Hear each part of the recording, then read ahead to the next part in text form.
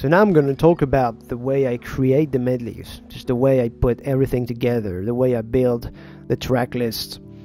So um, usually when I begin working on a medley, um, I have a pretty good idea of uh, of which song should go first.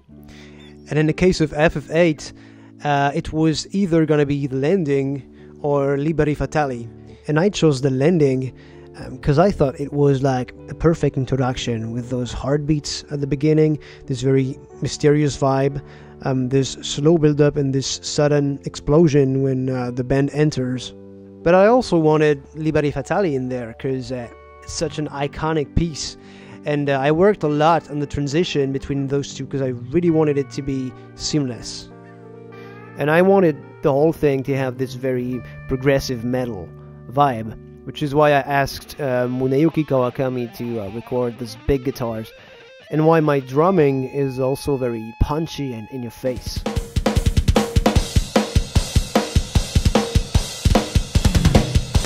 So this whole four-minute introduction is is very busy and, and quite hectic. And so right after that, I felt that things needed to calm down. It needed kind of a break and um, something like a peaceful theme, and I almost instantly thought of Fisherman's Horizon, which to me is one of the most beautiful melodies Uematsu's ever written. And uh, so originally it went from Liberi Fatali right into Fisherman. But then one day I thought uh, it needed some kind of an interlude in between. So I, uh, I brought the, the Balamb Garden theme, which kind of serves as, as an intro to Fisherman. And I think it really works well that way. And then I started uh, thinking about possible arrangements for fishermen. And I think I pretty quickly thought of, uh, of a solo flute for the melody because I think the flute perfectly underlines the beauty and purity of the theme. And then I got the idea of suddenly breaking into song because I remembered the beautiful a cappella rendition that Lady Rims had done. Plus, I'd never done a song before in any of my medleys, and I always like to try new things. So yeah, in the end, I think it worked out pretty well, and I'm, I'm very proud of that whole fisherman section.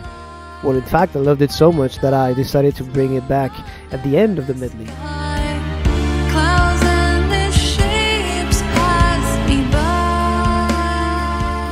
So yeah, and then the question is, which song should come next? Well, the thing is, I keep a list. I make this list of uh, every song that I definitely want to include in the medley. So I have this list, and then it's like a giant puzzle I have to solve. I have to put all these pieces together, and each piece has to fit perfectly. So the way it usually works is, um, like the ending of a song could remind me of the beginning of another. Maybe because it's at the same tempo or in the same key, or maybe because it has the same vibe. So I would just try it out. I'd put these pieces back to back and see if it works. Sometimes it works instantly, sometimes I have to tweak it a bit, like maybe adding a few bars in between to bring a modulation, or maybe an accelerando, which is um, gradually increasing the speed. And this brings me to the subject of transitions. Here you can see um, the transition between the man with the machine gun and under her control. Now the man with the machine gun has a tempo of 85 BPM, while under her control is at 105. So what happens here is uh, there's an accelerando over these 5 bars, and so we begin at 85 BPM, and then we gradually accelerate till we reach 105. And since it happens over 5 bars, in the end it feels very natural and almost imperceptible.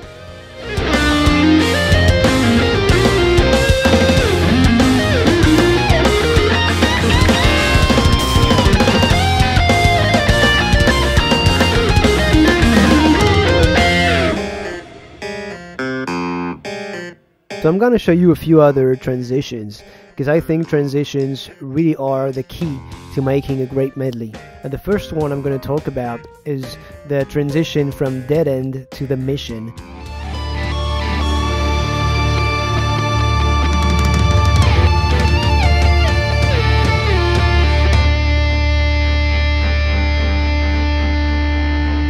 Now that one is like the perfect case scenario because dead end ends on a very long sustained note. So basically, you can put anything on top, and the next song, the mission, just happens to uh, begin with just one instrument. It's just the strings playing. So you have the, the last chord from a dead end, and right on top you have the strings at the beginning, plus the original keys of the songs uh, happened to work together. Now, yeah, I always try to keep the original keys of the songs, but sometimes it's just not possible. So you have to to make some changes. You have to transpose them to get them in the key that you need. But it wasn't the case here. Uh, both songs just happened to work perfectly together when put back to back. That really is the best case scenario. And actually, the same thing happens with the next song. So the transition from the mission to the spy. Uh, the mission ends on same kind of um, sustained note, and um, what I did is I took the bass part from the spy and I put it underneath that note, and that makes for a very natural transition.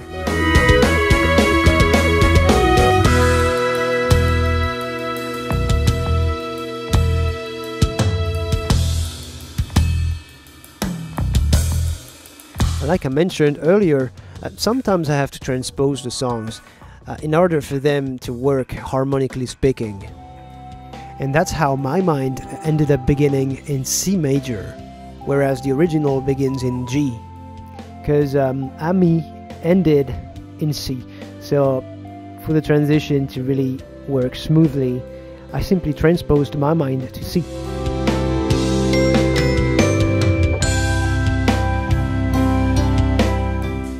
And another interesting transition is the one from Never Look Back to the legendary beast.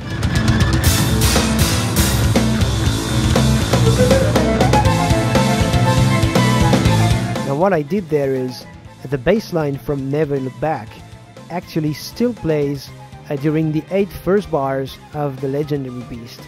So, in the end, there's this continuous bass line which is common to both songs and um, it doesn't even sound like there's a transition going on. It's like Never Look Back naturally blends into the legendary beast.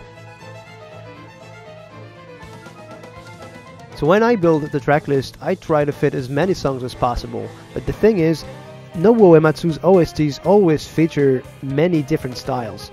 So it's quite a challenge to create a medley that really flows naturally and a medley that makes sense musically speaking. And I often get asked uh, questions in the comments like, uh, why didn't you include that particular song? I love it so much and you forgot about it. It's not that I forgot to put it or it's not that I don't like it. It's just that it didn't have its place. It didn't belong in the medley. Or it can also be that I feel that particular song has already been covered so many times and so brilliantly by other people that I don't feel the need to cover it myself. Plus, it leaves room for other amazing songs that have rarely been covered. So, as a result, there often are um, many outtakes. I've released a few already. Uh, pieces that work perfectly on their own, but just didn't work in the context of a medley.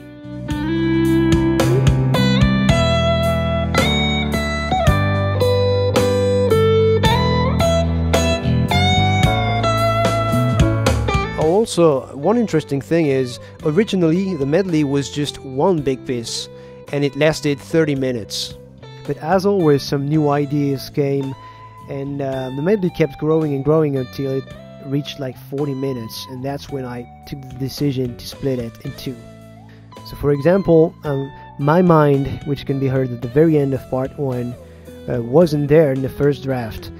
It used to go from Ami directly into Breezy and uh, when I took the decision to split the medley into, I had to give part one a proper ending, uh, which is when I brought my mind, which was an outtake. I had recorded it, and uh, I brought my mind to end part one, and I think it turned out to be uh, a good decision in the end.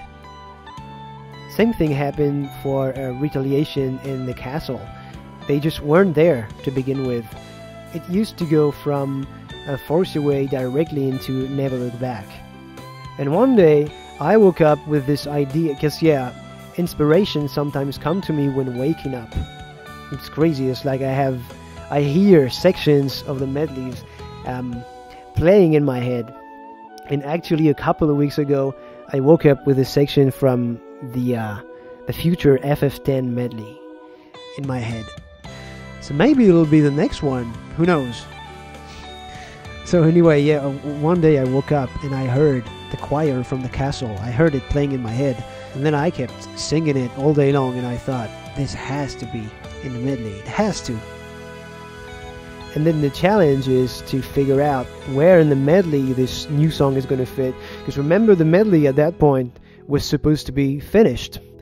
And uh, so you have to find some room somewhere and make some new transitions and some new connections so that it works out in the end.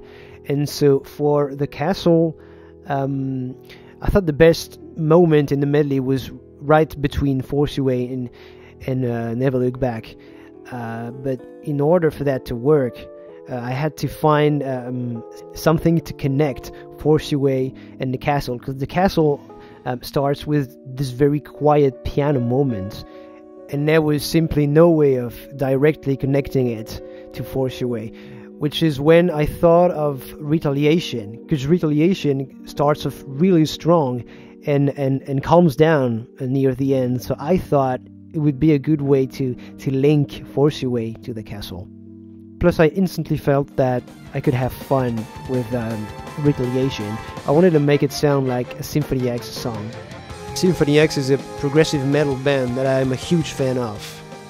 And so yeah, we had some fun with uh, Dr. Pez and Hat Tracks on that song. They laid down some incredible stuff.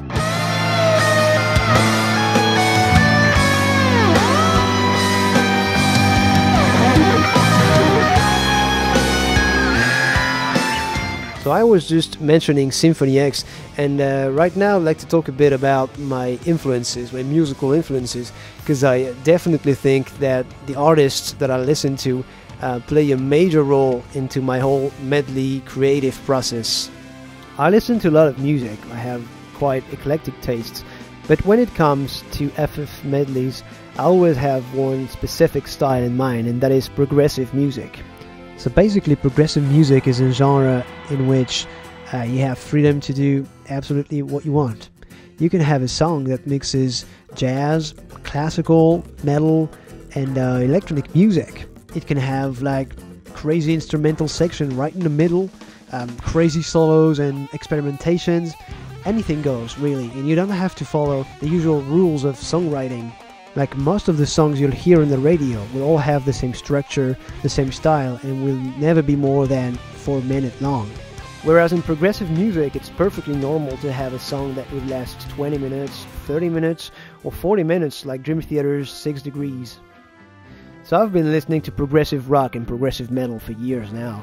Uh, bands like Dream Theater, Symphony X, Opeth, Haken, uh, Steven Wilson, uh, Spock's Beard, The Flower Kings, Yes, Genesis, Pink Floyd, the list goes on and on. And all of these bands are major influences uh, when it comes to um, arranging these medleys. I already mentioned Neal Morse in my previous video. Now, Neal Morse is one of my all-time favorite songwriters and musicians. And he plays progressive rock, of course, and so basically, whenever you hear me using a Mellotron or a Hammond organ, it's definitely the Neal Morse influence speaking. Also, uh, the way I constructed the very end of the FF8 medley, with uh, the Fisherman section being repeated in different keys and different orchestrations, that is a typical way of ending uh, a typical progressive song. You can hear it now, played by the amazing band Transatlantic.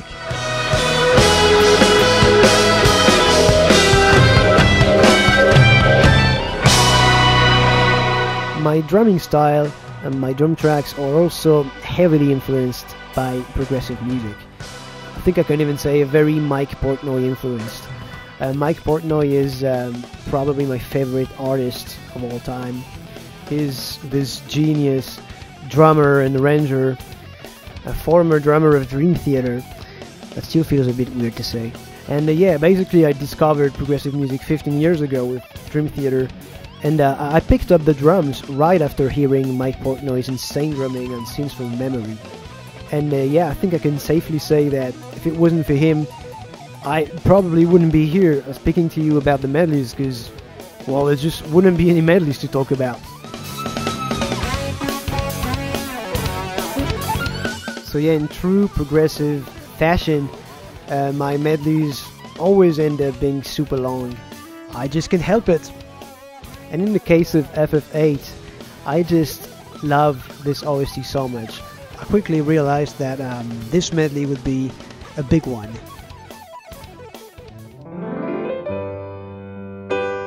So earlier I was mentioning inspiration. What's funny about inspiration is that it really can come anywhere, anytime, you know, like melodies, arrangement ideas, uh, possible transitions. Um, when I'm working on a medley, I pretty much I'm pretty much working on it 24/7 in my head. It's always playing in my head. Uh, it often happens when I'm just, for example, walking outside, or um, I often go swimming. And whenever I'm swimming, there's always you know, music in my head. Um, it can really happen even in, in the last places you think of. And I'm gonna tell you something. This is a bit of trivia, and this is a true story. Um, I heard the very end of the FF8 medley. So right after you hear the Fisherman's Horizon theme in four different keys, and then there's this big finale with the last score. I heard that when I was in the toilet. Yeah, this this isn't the most glamorous way of, uh, of composing, I guess, but uh, I heard I heard it, and I was like, this is exactly the way it has to end. And so I memorized it, and I recorded it as soon as I could. Um, but yeah, it really comes out of the blue, um, especially when you least expect it. So here you go. This is um, the way it works for me. I definitely have a lot of fun putting together these uh, this track lists and um, solving the puzzle. I think it's probably the easiest part of the whole process. Uh, the hardest part being um, mixing. So yeah, this is it, guys. Um, hope you enjoyed this. And feel free to comment, of course. Let me know what your favorite tracks are, if there's uh, specific transitions or moments in the medley that you prefer. I'm always curious to know about that. Also, let me know if you have any questions. Uh, maybe I can answer them in the next video. Uh, feel free to ask about anything you want um, the guests, the arrangements, the track list, the recording. If there's anything specific you'd like me to cover, just let me know.